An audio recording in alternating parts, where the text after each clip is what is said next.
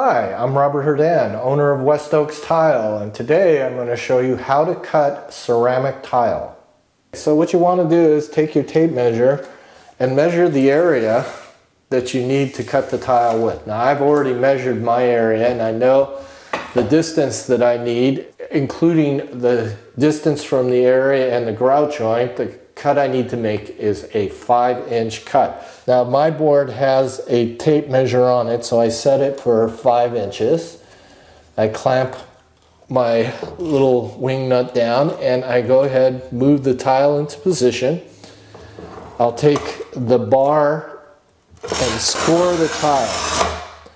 Once the tile has been scored, I'll take the feet and just press down until I hear the clicking sound and remove it.